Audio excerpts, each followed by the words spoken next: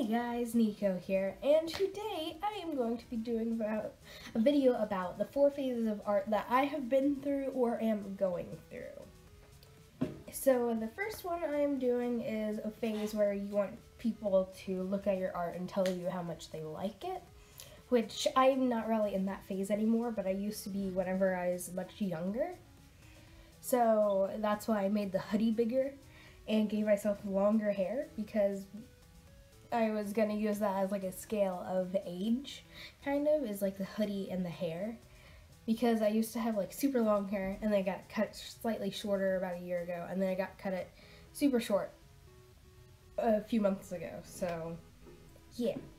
Okay, well, it's not super short, but it's like to my shoulders short.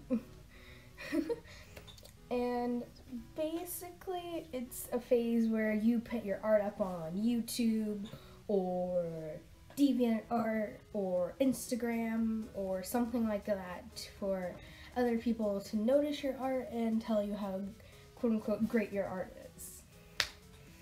So yeah. And the next one is going to be the OC machine or original character machine, which I was in this phase like a few a few months ago, I think. A few months to a few weeks. Totally different time span, but I don't pay attention to that. but it's basically a phase where you make OCs instantaneously if you want. Like in a week span, I made like seven or ten OCs. So yeah. But whenever I was younger, I had I had two OCs. One my friend more or less made, and then the other one was actually my OC, who is Nico now. So yeah. And um, basically, you also make the stories for the characters' names and other characters that go along with it. Is kind of the whole like story around this phase. The next phase is going to be I need to get this done or not getting or just doing a sketch for a picture and not actually finishing the picture phase because I have been through this phase and it's slightly annoying because it makes me feel slightly bad for not finishing the picture that I was doing. It's kind of more or less an off and on for me, like instantaneously. So I will start sketching something, not like how it's turning out, and then go straight over to something else that I had inspiration for, or something along those lines. And then I just won't get the stuff finished how I want it to be finished. And then never finish it at all.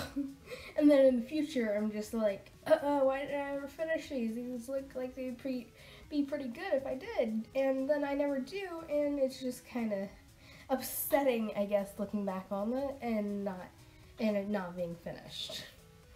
So the last one is going to be the everything I make sucks phase. So basically it's a phase where anything you make you think sucks and is horrible and should, should be gone and thrown in the trash can. Yeah. I am going through this phase right now. That's the main reason why I keep using that original picture I made to trace and then like reposition it and stuff. Because that picture turned out amazing, the original one, and I really like it. so I just took it and like kept retracing it. And then I, for this picture, I added wadded up paper because that's the only thing I could think of that would work as my artwork sucks kind of.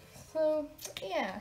Eh, I hope you all enjoyed this video of all four different phases that I have gone through or am going through of art. If you want, I can make a part two to this and do four more because I'm sure I can find out, figure out four more art phases I have gone through or am going through.